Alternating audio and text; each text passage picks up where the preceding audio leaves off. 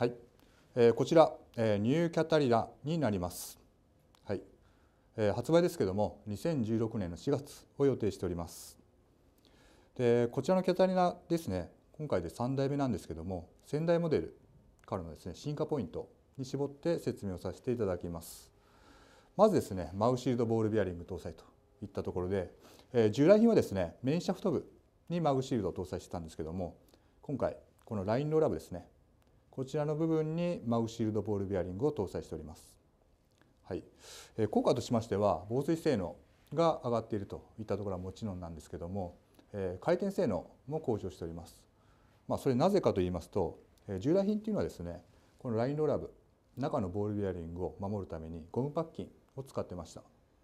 で今回ですね、まあ、あの錆びないマグシードボールベアリングを使っているんでそういったゴムパッキンが不要になったことによってコンパッキンの擦れがなくなって、まあ、回転性能が良くなっているといったところです。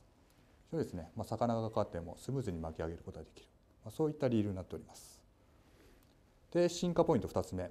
ドラグですね、はい、ATD 搭載しております。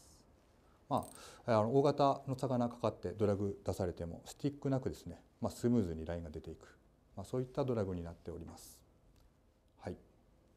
ニューキャタリナおすすめです。